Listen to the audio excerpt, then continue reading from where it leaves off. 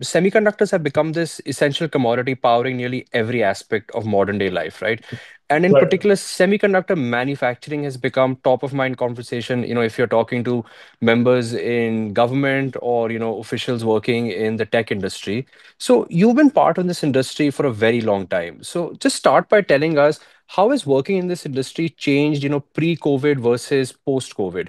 Because covid really seemed like that inflection point when the whole world suddenly realized that you know we need a much more diversified semiconductor supply chain Absolutely. I think before COVID, uh, at or during COVID, uh, before COVID, there was a market difference to the way we approach stuff, right? Or, the, or rather, the way people looked at us. Uh, before that, we were considered a bunch of hobbyists, you know, don't know what we, what these guys are up to types, right? And that was the overall perception of the semiconductor industry. It was it was a enterprise industry behind the scenes, not much, uh, not much consumer facing stuff. I mean, of course, people did use cars and phones, which uh, which and practically everything in the world runs on semiconductors and electronics today. But they never knew uh, uh, anything behind the hood, so to speak.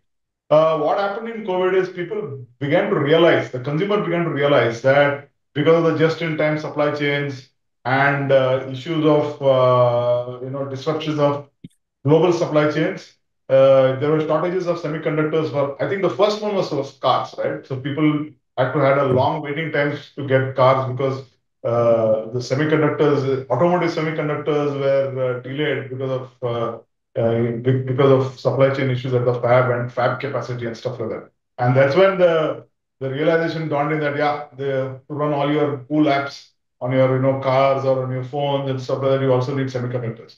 And because of the geopolitics at, at that time that played out, uh, India really began to focus on semiconductors as a as a key and a strategic cog in our uh, in our uh, vision for the Viksit Bharat for 20, 2047. Right, but if you if you look at the world uh, pre 2020 and then post 2020, a lot of attention has has gone into this space, right? Like suddenly governments have realized that look, we definitely need a much more diversified supply chain, particularly when it comes to uh, the foundry business, right? The manufacturing of semiconductors.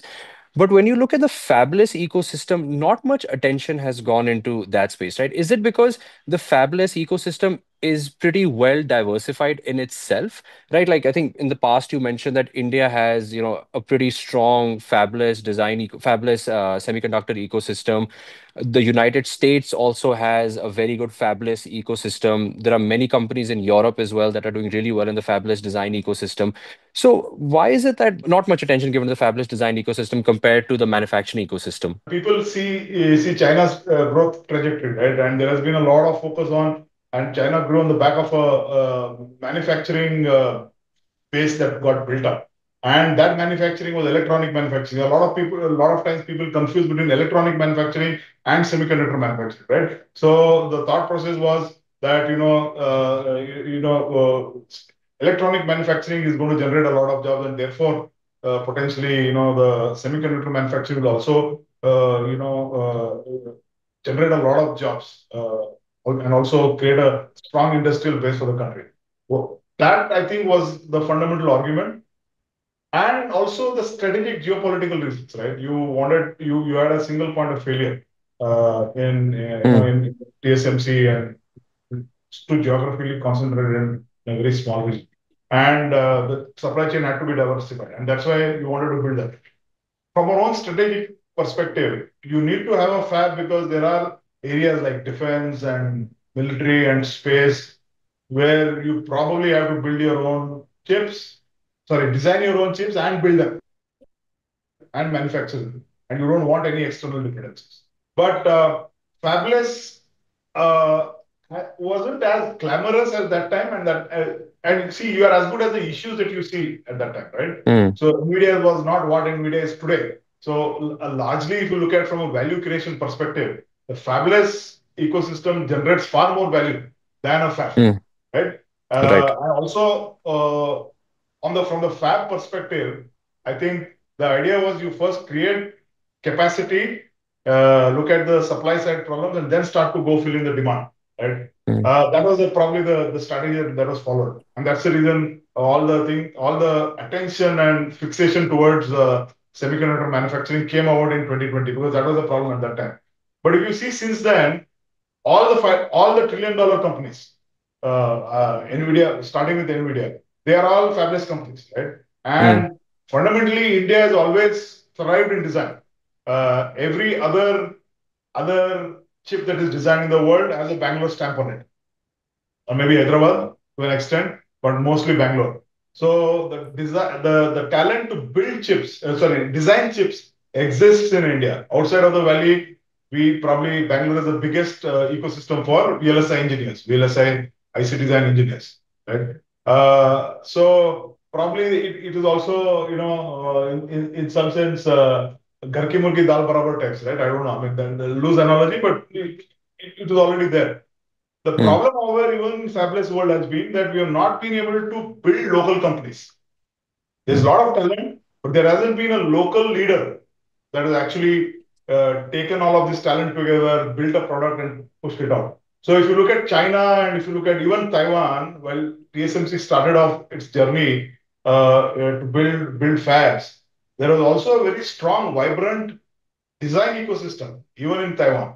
The MediaTek mm. and uh, the, the Morning Stars, and there's a whole bunch of other companies that actually sprouted and uh, because of uh, you know in parallel to uh, TSMC, right? And I, I I strongly believe that there's a lot of value creation that can happen in the fabless stuff.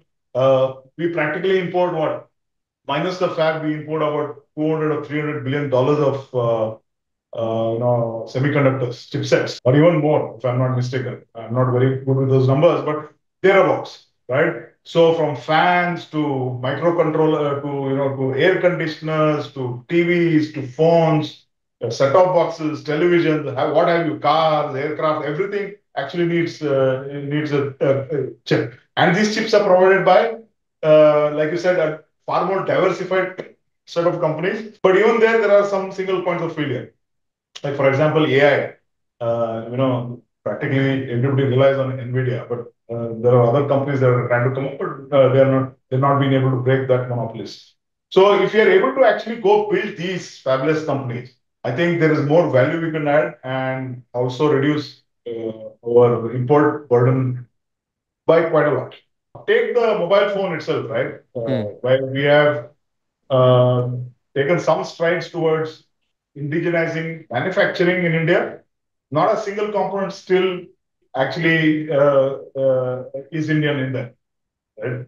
We are we are doing value-added manufacturing, maybe some basic, uh, I would say basic uh, mechanical stuff and stuff like that get that. But by and large, none of the electronic components, uh, electronic components are made in India.